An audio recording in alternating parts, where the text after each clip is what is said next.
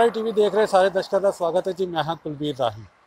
Corona ਕਾਲ ਦੇ ਵਿੱਚ ਅਜੇ ਤੱਕ ਜੋ ਹੈ ਡੀਜੇ ਦਾ ਕੰਮ ਬੰਦ ਹੈ ਕੰਮ ਬੰਦ ਹੋਣ ਕਾਰਨ ਜਿਹੜੇ ਕ- ਲੋਕ ਜਿਹੜੇ ਡੀਜੇ ਦੇ ਨਾਲ ਜੁੜੇ ਸੀ ਜਾਂ ਜਿਹੜੇ ਡਾਂਸਿੰਗ ਪ੍ਰੋਗਰਾਮਾਂ ਨਾਲ ਜੁੜੇ ਸੀ, ਉਹਨਾਂ ਦਾ ਕੰਮ ਧੰਦਾ ਬਿਲਕੁਲ ਠੱਪ ਪਿਆ ਹੈ ਤੇ ਉਹ ਜਿਹੜੇ ਲੋਕ ਨੇ ਅੱਜ ਸੜਕਾਂ ਤੇ ਨੇ। ਕਿਉਂਕਿ ਘਰ ਵਿੱਚ ਖਾਣ ਦੇ ਦਾਣੇ ਵੀ ਨਹੀਂ ਹੈ, ਕੰਮ ਚੱਲ ਨਹੀਂ ਰਹੇ ਤੇ ਉਹ ਪਰਿਵਾਰ ਜਿਹੜੇ ਉਹਨਾਂ ਦੇ ਬਹੁਤ ਜ਼ਿਆਦਾ ਪਰੇਸ਼ਾਨ ਨੇ। ਲੇਕਿਨ ਕੁਝ ਹਿੰਮਤੀ ਪਰਿਵਾਰ ਵੀ ਇਹੋ ਜਿਹੇ ਨੇ ਜਿਨ੍ਹਾਂ ਨੇ ਕਿਉਂਕਿ ਡੀਜੇ ਬੰਦ ਪਏ ਨੇ ਤੇ ਉਹਨਾਂ ਨੇ ਇੱਕ ਨਵਾਂ ਕੰਮ ਆਪਣਾ, ਕਿਉਂਕਿ ਆਪਣੇ ਪਰਿਵਾਰ ਦਾ ਪੇਟ ਪਾਲਣਾ, ਆਪਣਾ ਪੇਟ ਪਾਲਣਾ, ਤਾਂ ਉਹਨਾਂ ਨੇ ਨਵੇਂ ਜੋ ਹੈ ਕੰਮ ਸ਼ੁਰੂ ਕੀਤਾ। ਇਹੋ ਇੱਕ ਪਰਿਵਾਰ ਸਾਡੇ ਨਾਲ ਹੈ, ਜਿਨ੍ਹਾਂ ਨੇ ਜੋ ਹੈ ਸੜਕ ਕਿਨਾਰੇ ਆਪਣੀ ਕਾਰ ਦੇ ਵਿੱਚ ਇੱਕ ਢਾਬਾ ਖੋਲਿਆ ਪੰਜਾਬੀ ਢਾਬਾ, ਜਿੱਥੇ ਕੜੀ ਚਾਵਲ ਤੇ ਰਾਜਮਾ ਚਾਵਲ ਦਾ ਕੰਮ ਸ਼ੁਰੂ ਕੀਤਾ ਗਿਆ ਸਾਡੇ ਨਾਲ ਨੇ, ਉਹਨਾਂ ਨਾਲ ਗੱਲਬਾਤ ਕਰਦੇ ਹਾਂ ਉਸ ਪਰਿਵਾਰ ਦੇ ਨਾਲ, ਕਿ ਕਿਸ ਤਰ੍ਹਾਂ ਦਾ ਉਹਨਾਂ ਦਾ ਕੰਮ ਚੱਲ ਰਿਹਾ। ਪਹਿਲਾਂ ਤੁਹਾਨੂੰ ਦਿਖਾਣਾ ਚਾਹਾਂਗੇ, ਇਹ ਦੇਖ, ਤੁਸੀਂ ਦੇਖ ਸਕਦੇ ਹੋ, ਪੰਜਾਬੀ ਢਾਬਾ ਜਿਹੜਾ ਹੈ, ਉਹਨਾਂ ਨੇ ਬੋਰਡ ਸੜਕ ਦੇ ਉੱਤੇ ਲਗਾਇਆ ਕੜੀ ਚਾਵਲ ਤੇ ਰਾਜਮਾ ਚਾਵਲ ਜਿਹੜੇ ਹੈ, ਇੱਥੇ 20 ਰੁਪਏ ਦੇ ਵਿੱਚ ਜੇ ਦਿੱਤੇ ਜਾ ਰਹੇ ਨੇ। ਤੁਸੀਂ ਇੱਧਰ ਵੀ ਦਿਖਾਉਣਾ ਚਾਹਾਂਗੇ ਜਿਹੜੀ ਇਹ ਕਾਰ ਹੈ।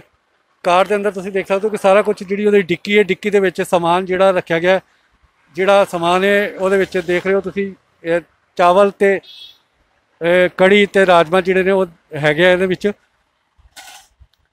ਤੇ ਇਹ ਜਿਹੜੇ ਵੇਚੇ ਜਾ ਰਹੇ ਨੇ ਲੋਕਾਂ ਨੂੰ ਜੁੜੇ ਇੱਥੇ ਵੱਡੀ ਗਿਣਤੀ ਵਿੱਚ ਜਿਹੜੇ ਗ੍ਰਾਹਕ ਵੀ ਆ ਜਾਂਦੇ ਨੇ ਠੀਕ ਠਾਕ ਜਿਹੜਾ ਕੰਮ, ਹਾਲਾਂਕਿ ਇੰਨਾ ਠੀਕ ਨਹੀਂ ਹੈ, ਫਿਰ ਵੀ ਜੋ ਹੈ ਚੱਲ ਰਿਹਾ ਹੈ। ਤੇ ਗੱਲਬਾਤ ਕਰਨਾ ਚਾਹਾਂਗੇ। ਜਿਹੜੇ ਇਹਦੇ ਆਯੋਜਕ ਨੇ ਜਿਹੜੇ ਚਲਾ ਰਹੇ ਨੇ ਉਹਨਾਂ ਨਾਲ ਗੱਲਬਾਤ ਕਰਦੇ ਹਾਂ ਕਿ ਕਿਸ ਤਰ੍ਹਾਂ ਦਾ ਜੋ ਹੈ ਉਹਨਾਂ ਦਾ ਇਹ ਢਾਬਾ ਜਿਹੜਾ ਇੱਥੇ ਚੱਲਦਾ ਪਿਆ ਸਵਾਗਤ ਹੈ ਜੀ ਤੁਹਾਡਾ ਐਨਆਰਆਈ ਟੀਵੀ ਤੇ। ਸਤਿ ਸ਼੍ਰੀ ਅਕਾਲ ਭਾਈ ਜਿਹੜਾ ਤੁਸੀਂ ਜਿਹੜਾ ਤੁਸੀਂ ਪਹਿਲਾਂ ਕੀ ਕੰਮ ਕਰਦੇ ਸੀ? ਡੀਜੇ ਦਾ ਕੰਮ ਕਰਦੇ ਸੀ। ਤੇ ਕੀ ਮਤਲਬ ਜਦੋਂ ਬੰਦ ਹੋਇਆ ਉਸ ਤੋਂ ਬਾਅਦ ਤੁਸੀਂ ਇਹ ਜਿਹੜਾ ਕੰਮ ਸ਼ੁਰੂ ਕੀਤਾ?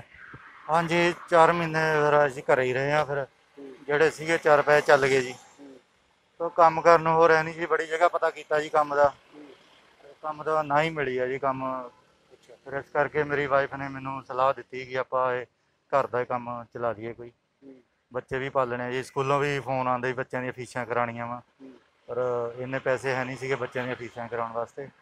ਘਰ ਵੀ ਆਪਣਾ ਰੈਂਟ ਤੇ ਹੈ ਜੀ। ਤੇ 6000 ਰੁਪਇਆ ਹੁਣ ਉਹ ਕੰਮ ਨਹੀਂ ਚੱਲਦਾ ਕੋਈ ਕਿਰਾਇਆ ਦੇਣਾ ਹੀ ਮੁਸ਼ਕਲ ਹੋਇਆ ਪਿਆ ਜੀ। ਕਿੰਨੇ ਲੋਕ ਜਿਹੜੇ ਤੁਹਾਡੇ ਡੀਜੇ ਦੇ ਨਾਲ ਜੁੜੇ ਹੋਏ ਸੀ ਜਿਹੜੇ ਵਿਹਲੇ ਹੋ ਗਏ ਨੇ? ਤਕਰੀਬਨ ਸਾਰੀ ਦੁਨੀਆ ਹੀ ਕੰਮ ਕਰਦੀ ਹੈ ਜੀ ਇਹ ਕੰਮ। ਸਾਰੇ ਵਿਹਲੇ ਬੈਠੇ ਜੀ ਹੁਣ ਕਿਸੇ ਨੂੰ ਹੋਰ ਆਪਾਂ ਕੋਈ ਕੰਮ ਕਰ ਨਹੀਂ ਸਕਦੇ ਜੀ।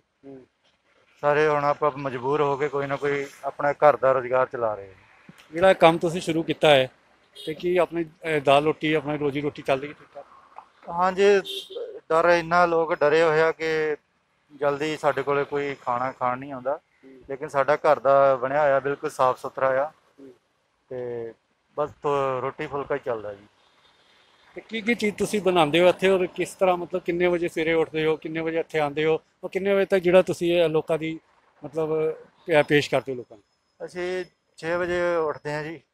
ਦੋਨੇ ਜਣੇ ਮੇਰੀ ਵਾਈਫ ਖਾਣਾ ਬਣਾਉਂਦੀ ਆ ਮੈਂ ਪਿਆਜ਼ ਚਿਲ ਚਿਲਦਾ ਜੀ ਅਸੀਂ ਦੋਨੋਂ ਜਣੇ ਹੀ ਆ ਮਤਲਬ ਅਸੀਂ ਬਣਾਉਂਦੇ ਆ 10 11 ਵੱਜ ਹੀ ਜਾਂਦੇ ਹੀ ਬਣਾਉਂਦੇ ਉਸ ਤੋਂ ਬਾਅਦ ਤੁਸੀਂ ਇੱਥੇ ਆਉਂਦੇ ਹੋ ਤੇ ਕਿੰਨੇ ਵਜੇ ਤੱਕ ਤੁਸੀਂ ਇੱਥੇ ਸੇਲ ਕਰਦੇ ਹੋ?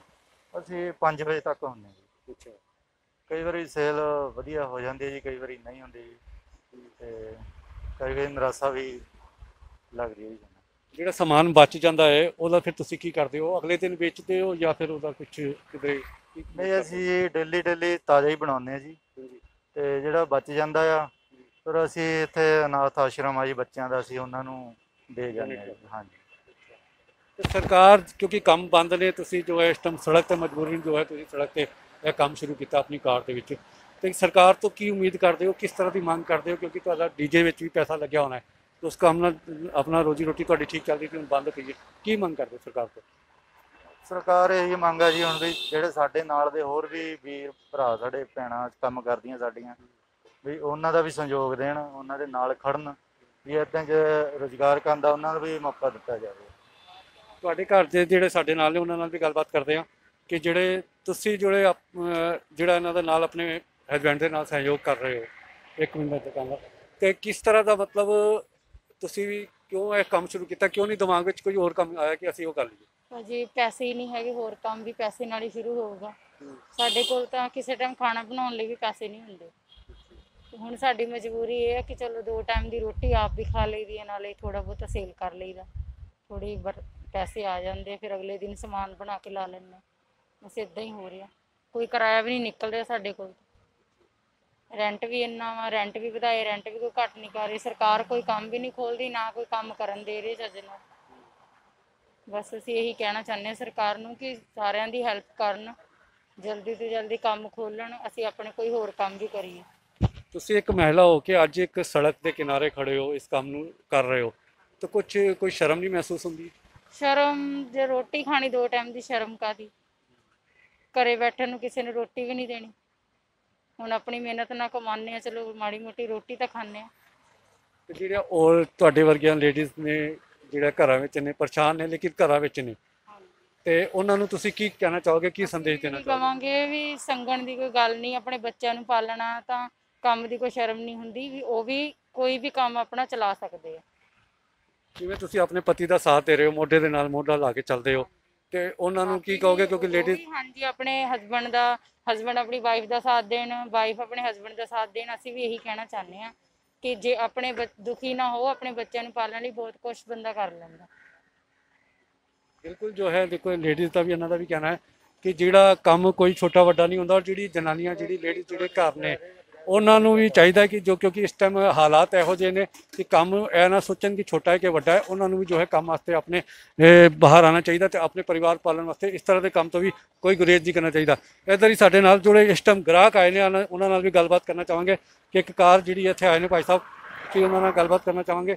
ਸਰ ਤੁਸੀਂ ਇੱਥੇ ਆਏ ਹੋ ਅੱਜ ਇਹ ਕੜੀ ਤੇ ਚਾਵਲ ਵੇਚਦੇ ਪਏ ਨੇ ਤੇ ਕੀ ਕਹਿਣਾ ਚਾਹੋਗੇ ਕਿੱਦਾਂ ਦੇ ਇਹਨਾਂ ਤੁਸੀਂ ਪਹਿਲਾਂ ਵੀ ਕਦੀ ਇਹਨਾਂ ਲੈ ਕੇ ਖਾਏ ਨੇ? ਫਸਟ ਟਾਈਮ ਆਏ ਫਸਟ ਟਾਈਮ ਅੱਛਾ। ਕੀ ਉਮੀਦਾਂ ਨੇ ਤੇ ਜਿਹੜਾ ਜੇ ਕੰਮ ਟੇਸਟ ਕਰਕੇ ਦੇਖਾਂਗੇ ਜੇ ਵਧੀਆ ਹੋਏ ਤਾਂ ਫਿਰ। ਨਹੀਂ ਜਿਸ ਤਰ੍ਹਾਂ ਇਹਨਾਂ ਨੇ ਕੰਮ ਸ਼ੁਰੂ ਕੀਤਾ ਇੱਕ ਲੇਡੀਜ਼ ਵੀ ਸੜਕ ਤੇ ਤੇ ਕਿੰਨਾ ਕੁ ਇੱਕ ਮਹਿਸੂਸ ਕਰਦੇ ਅੱਛਾ। ਅੱਛਾ ਤਾਂ ਹੈ ਨਹੀਂ ਹੁਣ ਮਜਬੂਰੀਆਂ ਨੂੰ ਕਰਨਾ ਪੈਣਾ ਹੁਣ। ਹੁਣ ਹੋਰ ਕੋਈ ਤਾਂ ਹੈ ਨਹੀਂ ਹੁਣ ਉਹਨਾਂ ਦਾ ਆਪਦਾ ਪਤਾ ਨਹੀਂ ਪਹਿਲਾਂ ਕਿਹੜਾ ਬਿਜ਼ਨਸ ਛੱਡ ਕੇ ਵਿਚਾਰੇ ਨਹੀਂ ਕੀਤਾ ਹੋਊਗਾ। ਰੋਡ ਤੇ ਕੌਣ ਖੜ ਕੇ ਰਾਜੀ ਹੈ ਚਲੋ। ਬਿਲਕੁਲ ਜੋ ਹੈ ਲੋਕ ਵੀ ਇਸ ਗੱਲ ਨੂੰ ਸਮਝਦੇ ਨੇ ਕਿਉਂਕਿ ਮਜਬੂਰੀ ਹੈ ਤਾਂ ਮਜਬੂਰੀ ਦੇ ਨਾਲ ਹੀ ਜੋ ਹੈ ਇਹ ਲੋਕ ਜਿਹੜੇ ਨੇ ਅੱਜ ਸੜਕਾਂ ਤੇ ਨੇ। ਤੁਸੀਂ ਦੇਖ ਸਕਦੇ ਹੋ ਕਿ ਜਿਹੜੇ ਕਿਸ ਤਰ੍ਹਾਂ ਜਿਹੜੀ ਪੈਕਿੰਗ ਕੀਤੀ ਜਾਂਦੀ ਹੈ ਖਾਣ ਪੀਣ ਦੀ? ਲੋਕ ਕਿਉਂਕਿ ਗ੍ਰਾਹਕ ਆਉਂਦੇ ਨੇ, ਉਹਨਾਂ ਨੂੰ ਪੈਕਿੰਗ ਕਰਕੇ ਦਿੱਤਾ ਜਾਂਦਾ ਹੈ ਸਮਾਨ ਸਾਰਾ। ਤੇ ਕੜੀ ਚਾਵਲ ਤੇ ਰਾਜਮਾ ਚਾਵਲ ਜਿਹੜੇ ਇੱਥੇ ਵੇਚੇ ਜਾਂਦੇ ਨੇ, ਉਹ ਸਾਫ਼ ਸਫ਼ਾਈ ਦਾ ਵੀ ਜੋ ਹੈ ਬਿਲਕੁਲ ਖਾਸ ਧਿਆਨ ਰੱਖਿਆ ਜਾਂਦਾ।